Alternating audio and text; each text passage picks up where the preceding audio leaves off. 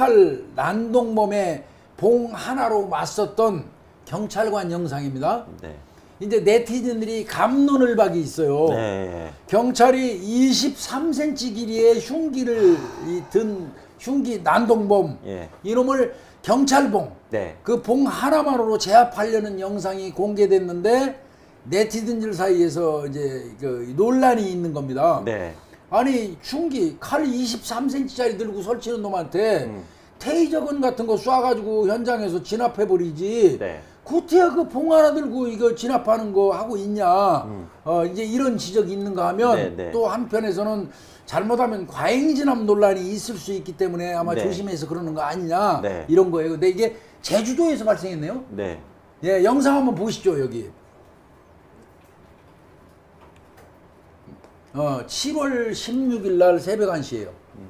회카를 들고 와서 위협을 하고 신고 접수됐어요. 회칼이에요. 회칼입니다. 아이고 저, 나 어이, 어떻게 저, 뭔 회칼이야. 어, 아, 저 씨. 정보원들도 뭐 우산 들고 와서 어, 싸우려고 정업원들 그러네. 위협하면서 네. 자 이제 흉기 버리라고 하는데 저 회칼 아유 상당히 크네요. 네. 음, 야, 저 경찰한테 막 휘둘르잖아. 어, 경찰한테 휘두르는데 네. 손목을 내리치는 거예요. 퍼- 손 손목을. 네. 사실은 이제 저 봉 자체가요 네. 손목을 내리쳐 갖고 저그 흉기를 놓치게 하는 역할을 해요. 예, 예, 예. 그리고 이제 검거를 한 것 같은데 아, 저거 정신나간 인간이지. 근데 이제 이걸 이제 여러 네티즌 분들이 보시고 네. 저 저 정도 되면 테이저건 쏴갖고 쫙 뻗게 한 다음에 잡지. 음. 뭐 저 저 장봉으로 잡는. 근데 사실은 따지고 보면요. 네. 어떤 면에서 보면요. 테이저건 한 번 빵 쏴가지고 나도 맞아봤지만 그 일부러 맞아봤지만 빵 쏴갖고 잠시 그저 계절했다 일어나는 게 나을 수도 있어요. 저 손모가지 맞아가지고 아마 손 엄청 고생할 거예요. 제 많이 아파서. 네. 어? 어떤 면에서 보면 더 가혹한 거예요, 저게. 이제 그럼에도 불구하고 우리 이제 국민들 입장에서는 아, 저런 강력범, 음. 저런 놈한테 무슨 타이저건 뒀다 뭐에다 쓰려고 안 쓰냐 이 얘기거든. 그렇죠. 어? 네. 근데 진짜 이거 아우 이거 내가 볼 때는 테이저건 쏴버렸어야 될 것 같은데 이제 근데 경찰들이 너무 제약을 받아가지고 불안해해요. 전에 아시잖아요. 실명 사건 하나 터져가지고 네. 그때 잘못 맞아 눈 근처에 맞으셔갖고 그때 난리 났었잖아요. 음. 그것도 하나 있었고 근데 이제 제 개인적 생각으로는 음.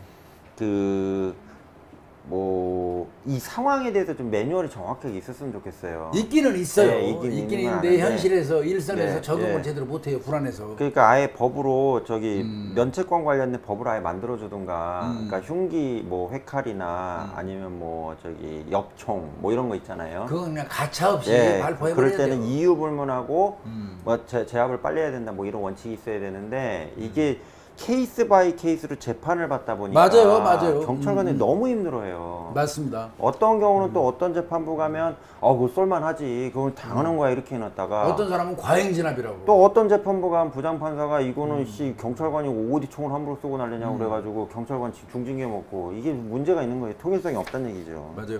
이 영상을 접한 네티즌들이 하나같이 하는 얘기 이제 갈렸어요. 예. 어, 왜 어느 나라 경찰이 몽둥이로 흉기난 동범 잡냐? 어느 나라 경찰이. 맞아요. 그. 어디다 두고 장봉만 쓰냐? 예. 뭐 이런 반응이 있는 반면 예. 어, 어디서는 저, 저거 위험만 하는 거다. 저 사람 예, 칼 예, 들고. 예. 그러다가 만약에 그 사람 저 중상 입으면 과잉 진압이다. 경찰관들만 난감해진다. 네. 이게 현실적일 수도 있어요. 이 얘기가. 어? 실제로 저 한 달 전에 한 달 한달 네, 전에 네. 흉기든 외국인 체포하는 과정에서 과잉 진압 논란 불거진 적 있잖아요. 네. 그때. 예. 에, 광주의 한 어린이집 인근에서 칼 들고 배회하는 베트남 국적 그 남성을 체포하는 과정에서 음, 진압봉 및 테이저건을 사용해서 과잉 진압 논란에 휩싸이기도 했었죠.